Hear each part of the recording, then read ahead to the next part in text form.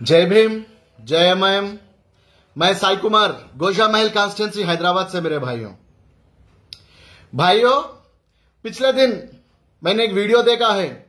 Bharatiya Janata party के जो candidate है, हैदराबाद से एमपी कैंडिडेट माधवी लता जी, गए सो श्रीराम नवमी के उत्सव के दिन रैली में भाग लेते हुए सिद्धंबर बाज़ार के चौरस्ते पर मस्जिद को निशाना बनाते हुए चुप चुप का तीर छोड़ रहे हैं मेरे भाइयों। मैं माधवी लता जी से पूछना चाहता हूँ, आप एक एमपी कैंडिडेट हैं, इस तरह की हरकत कर कर आकर देश के और हैदराबाद के लोगों को क्या मैसेज देना चाह रहे मैडम आप? क्या हैदराबाद में दहशतगर्दी फैलाना चाह रहे आप? हिंदू, मुसलमान, सिख, ईसाई सब जने मिलकर भाई भाई की तरह चल रहे मेरे मैडम।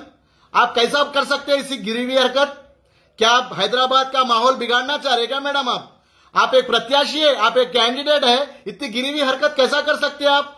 हाँ श्री राम नवमी था, आप मनाओ, हम भी मनाए, आप भी खुशी से मनाओ, मगर दूसरे मज़हब के लोगों का आस्था की स्थान पर इस तरह कैसा कर सकते हैं आप? क्या ये आपका हाईकमांड, भारतीय जनता पार्टी का जो हाईकमांड है, उन लोगों के इशारे पे कर रहे क्या मैडम आप? इस तरह गिरी हुई हरकत कैसा कर सकते हैं आप? क्या आपको आपके हाईकमांड वाले, आपके बीजेपी वाले बोले क्या कि हैदराबाद में माहौल बिगाड़ो बोलकर? कैसा बिगाड़ने की कोशिश कर रहे हैं आप? मैं मजलिस तहादुल मुस्लिमीन का कार्यकर्ता हूँ, मैं एक हिंदू हूँ। मेरे हबीब मिल्लत अलहज अकबरुद्दीन अवैसी साहब यही लाल दरवाज़ा की मंदिर को गवर्नमेंट से लड़के फंड दिलाते।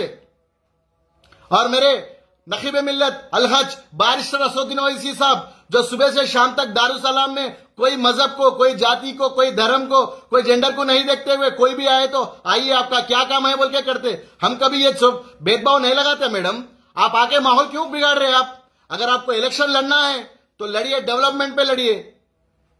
इस तरह की घिनौनी हरकत कैसा कर सकते आप? अगर माहौल पूरे नौजवान बच्चे थे वहाँ पे, अगर माहौल बिगड़ जाता तो आप जिम्मेदार रहते थे। और मैं इलेक्शन कमिश्नर साहब से रिक्वेस्ट करता हूँ, इनके ऊपर एक्शन लीजिए। और मैं पुलिस कमिश्नर साहब से भी रिक्वेस्ट करता हूँ, ऐसे काम करने वालों पे एक्शन लीजिए साहब। ये लोग हैदराबाद की माहौल को बिगाड़ना कोशिश कर रहे ऐसा नहीं रहता हैदराबाद में। हम लोग भाई भाई की तरह रह रहे अगर आपको इलेक्शन लड़ना है तो लड़िए, खुल के लड़िए डेवलपमेंट पे लड़िए। इस तरह की हरकत करते हैं। मैडम आप, बहुत गलत करें आप।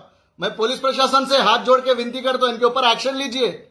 इस तरह की हरकत नहीं करना, मैडम, आप। इलेक्शन लड़ना है तो अच्छा लड़िए।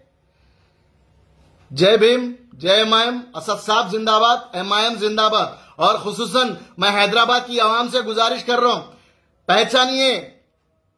कौन कैसे पहचानिए। अभी इनको खाली टिकट मिला, हैदराबाद का माहौल बिगाड़ने शुरू कर दिए। हर एक भाई बंधु से, माता और बहनों से मैं विनती करता हूँ, आपका वोट सिर्फ़ और सिर्फ़ मजलिस तहादल मुस्लिमीन के पक्ष में जाना चाहिए, मेरे भाइयों। क्योंकि पिछले कई सालों से आप देख रहे हैं हैदराबाद में डेवलपमेंट कैसा रहता। हम सिर्फ़ और सिर्फ़ असद साहब को ही जिताते। आप जैसे बहुत आ गए बहुत चले गए मैडम, और हैदराबाद की आवाम बहुत हुशार है। आपके ऐसे चिल्लर हरकतों पे ध्यान नहीं देते। बोल जाओ मैडम, ऐसी हरकत नको करो। जय भीम, जय एम असद साहब जिंदाबाद एम जिंदाबाद।